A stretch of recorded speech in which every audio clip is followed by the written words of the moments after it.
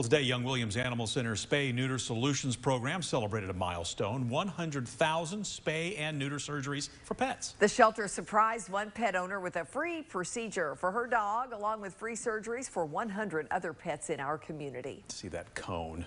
I know. You know, uh, the Center's Spay Neuter Solutions program has been offering surgeries since 2007. It helps prevent new litters of thousands of homeless pets across the city each year.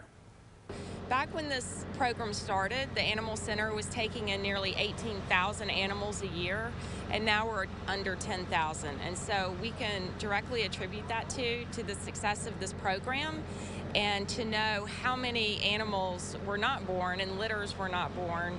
Uh, that would have translated to, again, more animals in the shelter, higher euthanasia rates. So it really is a life-saving initiative that we're incredibly proud of. So as Janet Testerman reminds us, today's celebration coincides with World Spay Day. It was made possible by support from Aslan Foundation and Petco Foundation as well.